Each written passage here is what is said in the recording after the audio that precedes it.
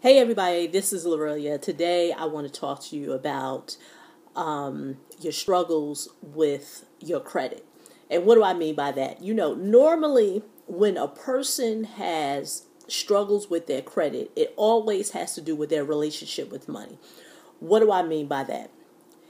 If you are a person that believes that money is scarce, that money is hard to come by, that if you only get a certain amount of money and you spend it, um, and, and, and you truly believe that you will never get more of it, has a has a lot to say um, about your relationship with money. Now, by no by no means am I trying to say that you should just ball out and, and just spend, spend, spend, spend, spend.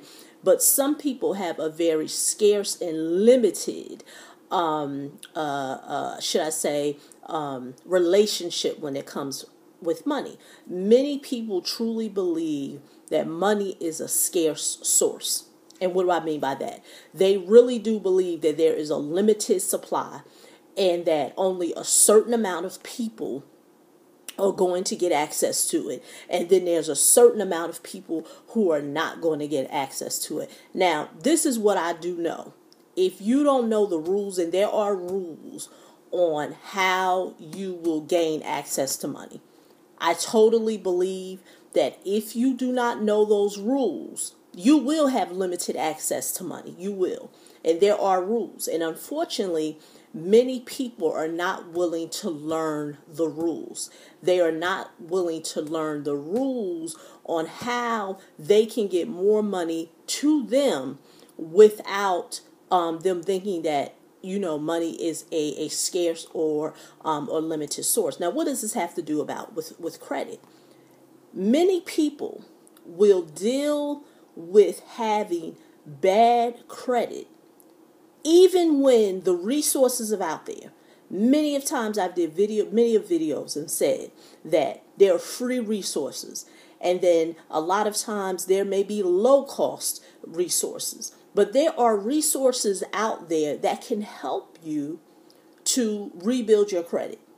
But going back to the conversation of money if i am a person who feels that money is a limited supply that I don't understand the rules of money, I don't understand the language of money, I don't understand how to access money or to be able to get um, more of it, then I'm going to feel the same way about my credit.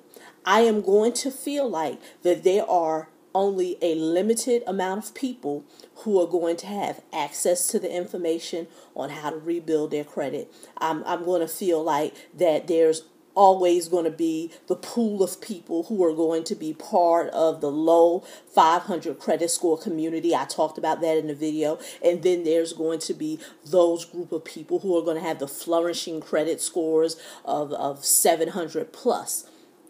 Once again, it's my conversation of money. If I feel like money is a limited supply, then I'm also going to feel like that there is no hope with my credit. And that's why there are so many people. You can give them all the resources. And I just had this conversation with a lady that I know that runs a nonprofit. And the nonprofit is a, a free nonprofit for low income individuals, the 500 credit score community individuals, helping them to rebuild their credit because I am a consultant there, rebuild their credit, manage debt, manage credit, learn how to budget, along with how to buy a home. On top of that, they're going to give you matching money uh, to help you buy the home. Because as you're in this uh, this um, program, they're going to show you how you can save your own money, and then they're going to match it. The one question that she had said to me was that, Lorillia, what I don't understand is that people can have all the resources right in front of them, and they can sit through the class for you know they'll sit through the class they'll go through the counseling they, they'll get everything up and remind you there's no cost but then they'll still not do anything. Because even though they're getting all the res- the free resources the person still has to do the work. Like it's not no okay, you get it all for free and you just sit back like this and, and people you know the per- person's gonna do your work. Like they're not gonna do the budgeting for you. They're not going to, you know, take your money and, and make sure you save it. They're not gonna make sure that you are managing that money. They're not gonna make sure you're clearing out your debt. They're not gonna make sure that you're rebuilding your credit. They're gonna give you the tools.